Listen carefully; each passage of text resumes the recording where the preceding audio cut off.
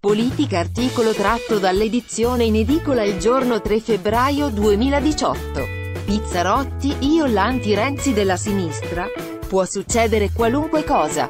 Ora lancio il partito dei sindaci, il sindaco di Parma, nell'M5S opportunisti e furbetti di altri partiti non esclude nulla nel proprio futuro politico, Federico Pizzarotti. Nemmeno che potrebbe diventare l'anti-Renzi, nel centrosinistra, tutto può essere, ma devono deciderlo gli altri. Non spetta a me. Vedremo cosa sarà il centrosinistra dopo le elezioni. Intanto il sindaco di Parma, ex 5 Stelle, si dedica a creare il partito dei sindaci. Un altro partito dei sindaci, è vero, ci hanno provato altre volte, soprattutto in momenti di grande debolezza politica.